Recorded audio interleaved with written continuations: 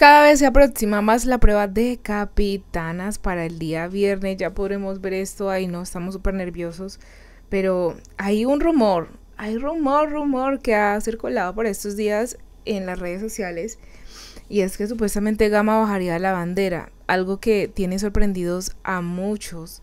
Pero déjeme decirle que esto al parecer es solo un rumor y que los equipos que quedarían verdaderamente serían Alfa y Gamma.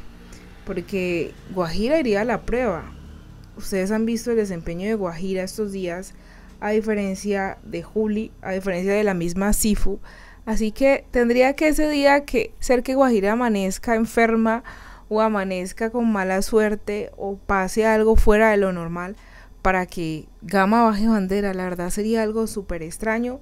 Quizás esta fue una información para despistar y crear más incógnita, más rumores, más expectativa de lo que puede pasar.